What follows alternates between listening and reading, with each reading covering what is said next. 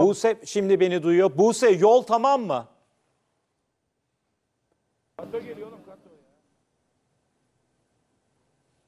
Evet yolla ilgili son çalışmalar tamamlandı. Şimdi kepçe operatörü de çekilmeye başladı. İnsanlar burada seferber bir şekilde o e, açılmış alan kısmı doldurdular. Kepçe operatörünün de yardımıyla ikiden fazla iki kepçe çalıştı anladığım kadarıyla bu noktada biz geldiğimizde. Pek çok kişi de bu e, alanda yardım etti. İnsanlar tek tek elleriyle bakın taşları oraya dolduruyorlar.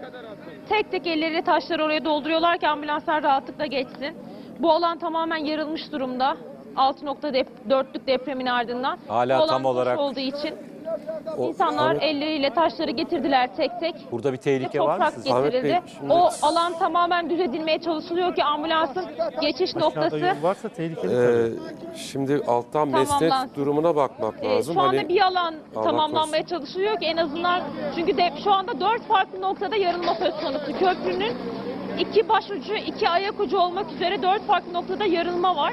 Ee, şu anda bir alana müdahale söz konusu. Bir alana müdahalesi tamamlanıyor ki Yani en azından açacak. ambulanslar tek noktadan rahatlıkla gidip gelebilsinler diye. O da tamamlanmak üzere.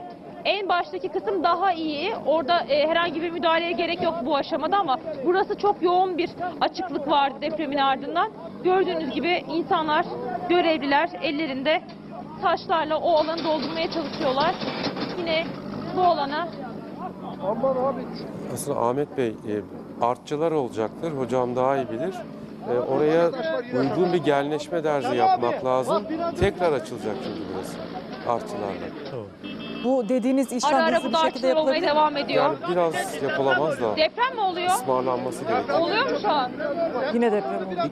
Tam ekran. Evet, köprünün diğer tarafına geçmemiz gerekli. Şu an depremler devam ediyor çünkü. Artçılar değil mi hocam bunlar? Bunlar artçılar tabii. Yani yaşanan Yani Evet. yine ilk saat hissetti çünkü oradaki tabii. e, yol, yani yol üzerinde bile ediyor. hissediliyorsa İnsanlar haliyle korkuyorlar. Hissedebildiklerine göre dördün üzerinde olma ihtimali var değil mi hocam? Ee, Evet sallıyor. Sürekli 5.8 oldu sallamalar zaten. devam Giderek ediyor. e, küçülmesi Ee, gerekir. Yani dolayısıyla 5'e insanlar kadar çıkabilir. Köprünün 5'e diğer kadar tarafına çıkabilir. gitmek istiyor.